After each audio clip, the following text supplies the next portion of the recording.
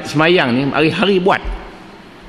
Kita mesti ada perbezaan waktu-waktu muda-muda semayang waktu kita dewasa dan waktu kita tua. Mesti ada perbezaan.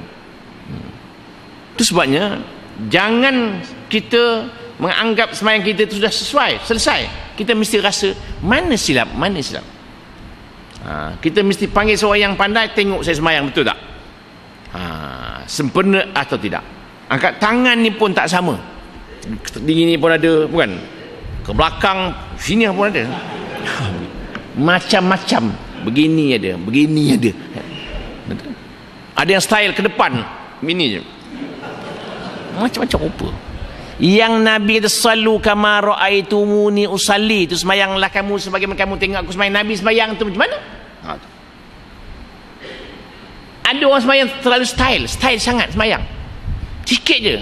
Dia kadang-kadang dia pakai ada ke belakang? Allah gitu dari mana? Gitu apa hal itu? Ha, contoh bukan orang sini orang England lah ni kan?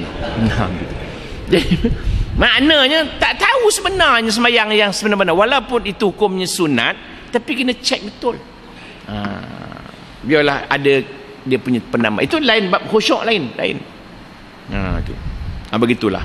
Jadi kita yang tak tahu ni kita kena tahu mana supaya kita beramal tu kita rasa betul dah. Betul lah